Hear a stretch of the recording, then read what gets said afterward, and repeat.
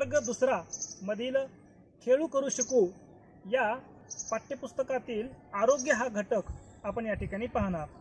आरोग्य या घटकामध्ये पहिला उपघटक आहे की माझी दिनचर्या कशी असावी? विद्यार्थ्याची दिनचर्या किंवा मोठ्या माणसांची दिनचर्या कशी असली पाहिजे हा घटक आपण या ठिकाणी पाहणार आहोत. आता दिनचर्या म्हणजे काय? तर सकाळी उठल्यापासून ते संध्याकाळी झोपेपर्यंत आपण ज्या ज्या गोष्टीला सामोरे जातो अशा गोष्टी म्हणजे दिनचर्या किंवा असे घटक म्हणजे दिनचर्या. आता पहिला घटक काय असतो? आपण पहाटे कधी उठायचं? पहाटे केव्हा उठायचं? तर पहाटे आपली एकच वेळ ठरली पाहिजे सहाच्या अगोदर उठणे. सकाळी पहाटे सहाच्या अगोदर उठायचं असतं आणि झोपायचं कधी तर दहाच्या दरम्यान आपण झोपलं पाहिजे. तर आपला सकाळी लवकर पहाटे जाग येते. तर पहिला सुरू आहे पहाटे उठणे. दुसरं पहाटे उठल्यानंतर यानंतर आपण काय करतो? प्रातविधीला जातो. आता प्रातविधी म्हणजे काय? तुम्हाला माहीत आहे का रे मुलांना प्रातविधी म्हणजे काय? नाही माहीत?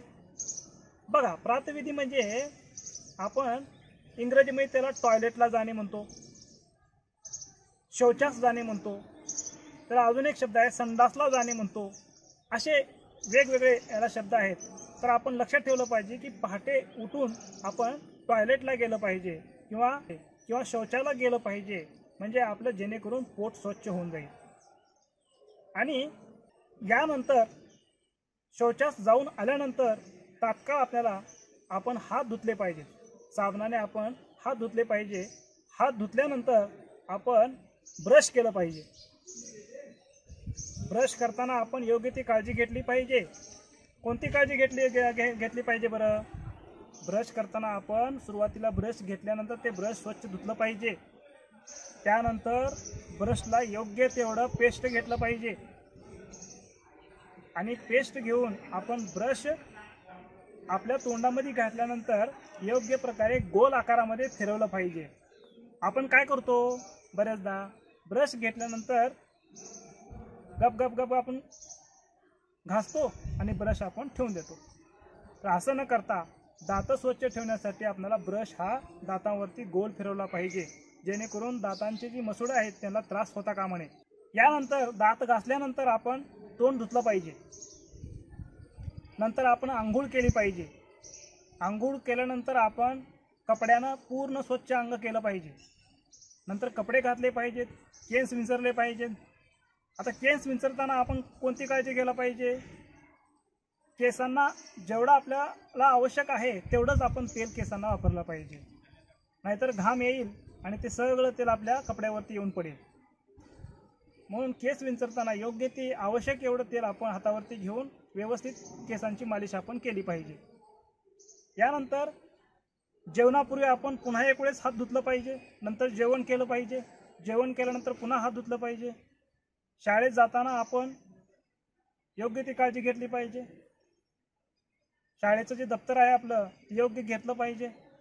शाळेत गेल्यानंतर शिक्षकांचा शिक्षकांनी शिकवलेला अभ्यास आपण व्यवस्थितपणे ऐकला पाहिजे ग्रहपाठ घेतला पाहिजे. आणि घरी आल्यानंतर तो जो घेतलेला ग्रहपाठ आहे त्याचा आपण अभ्यास घरी नियमितप्रमाणे नियमितप्रमाणे वेळापत्रकाप्रमाणे केलं पाहिजे. अभ्यास केल्यानंतर पुन्हा खेळलं पाहिजे. कारण खेळ ही आपल्या शरीराला आवश्यक आहे. आपला घटकच आहे माझं आरोग्य. मग आपलं आरोग्य चांगलं ठेवण्यासाठी खेळसुद्धा आपल्या आरोग्याला खूप गरजेचं आहे. संध्याकाळी साडेसहा ते सात किंवा साडेपाच ते साडेसहाच्या दरम्यान आपण खेळ खेळला पाहिजे. ग्राउंडवर ग्राउंडवरती जाऊन आपण फुटबॉल खेळणे पायानं बॉल मारणे कबड्डी खेळणे खो खो खेळणे हे खेळ आपण खेळले पाहिजेत यानंतर आहे घरातील लहान सहान कामं आपण केलं पाहिजे. आपल्या आईवडिलांनी सांगितलेले लहान सहान कामं आपण घरामध्ये गेल्यानंतर केले पाहिजेत. जे आपणाला सहन होतील असेच कामं आपण करायचे. आणि संध्याकाळी मात्र थोडंसं जेवण करून आपण वेळेवर झोपलं पाहिजे. जेणेकरून दुसऱ्या दिवशी आपल्याला उठताना आपण वेळेवर उठू. नाहीतर काय होईल? आपण जर उशिरा झोपलो तर आपल्याला सकाळी जाग लवकर येणार नाही आणि आपली पूर्ण दिनचर्या बिघडून जाईल. म्हणूनच आपलं आरोग्य चांगलं ठेवण्यासाठी या पहाटे उठण्यापासून ते संध्याकाळी झोपेपर्यंतची जी दिनचर्या आहे ती दिनचर्या योग्य प्रकारे आपली झाली पाहिजे योग्य प्रमाणामध्ये झाली पाहिजे. यामध्ये आपण पाहिलं पहाटे उठणे प्रातविधी करणे किंवा टॉयलेटला जाणे दात घासणे आंघोळ करणे कपडे घालणे जेवण करणे शाळेत जाणे अभ्यास करणे मैदानावरती खेळे खेळणे घरातील लहानसहान काम करणे आणि वेळेवर झोपणे.